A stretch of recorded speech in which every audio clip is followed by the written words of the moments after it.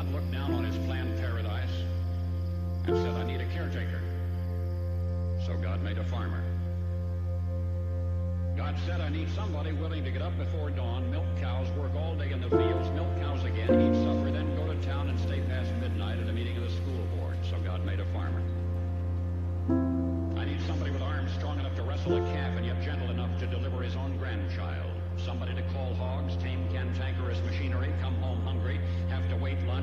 wife's done feeding visiting ladies, then tell the ladies to be sure and come back real soon, and mean it.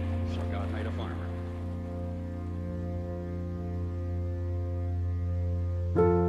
It had to be somebody who'd plow deep and straight and not cut corners. Somebody to seed, weed, feed, breed, and rake and disc and plow and plant and tie the fleece and strain the milk and replenish the self-feeder and finish a hard week's work with a five-mile drive to church. So God made a farmer.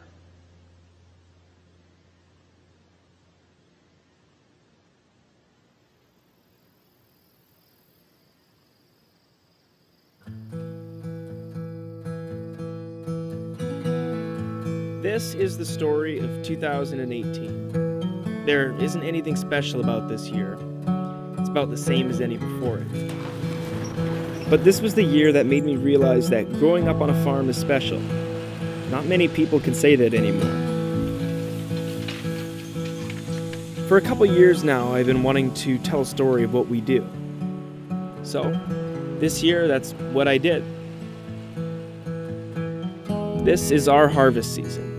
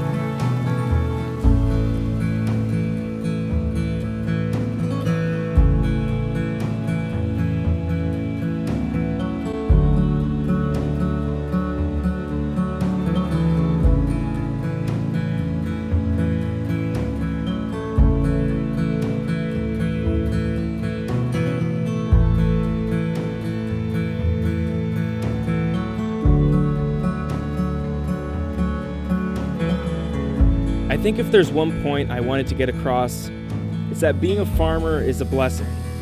There's always problems, of course. Something always seems to break down and needs fixing. But while it may be a blessing, that doesn't mean it comes without hardships.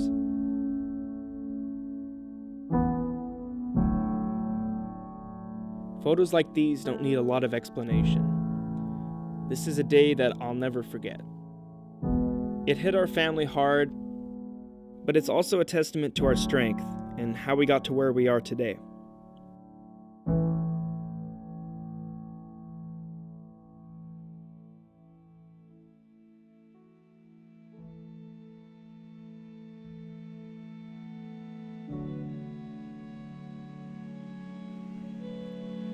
A cup of coffee in the morning is a symbol to me.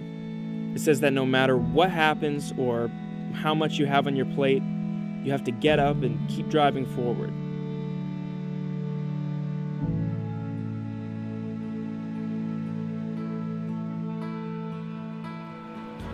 Two thousand and eighteen. There's no milestone, there's nothing special about this year. But I realize that maybe that's a good thing. Year after year, we keep on going, and we're proud of that. We're proud of what we get to do. This is the harvest.